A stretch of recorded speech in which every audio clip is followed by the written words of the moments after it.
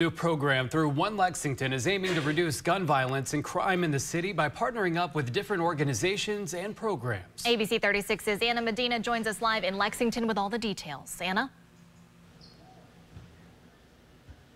One Lexington with Community Action Council got together to try to tackle the gun violence and crime problem in Lexington. And that came to the conclusion that youth between the ages of 12 through 17 are most at risk. Now, that meeting leading to the initiative with the acronym CAP, or creating alternative pathways for kids directly affected by gun violence or who may have a parent who may have been or is incarcerated.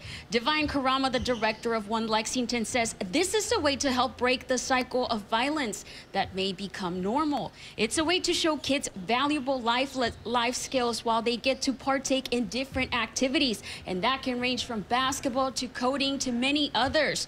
Justin Taylor, the owner and trainer at Evolve to Perform, spoke on using basketball to teach valuable skills.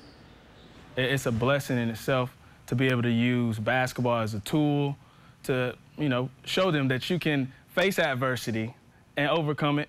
Uh, be around a group of people that, you know, the, for the common good, they're all doing the same thing. You have the, the same common goal. Um, and when you're around that atmosphere, it's, I want to say it is, it's contagious. And so, you know, we can help each other as we're around each other.